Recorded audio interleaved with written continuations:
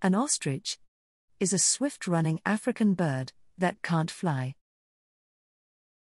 It comes from the Greek words strathos megale, meaning big sparrow.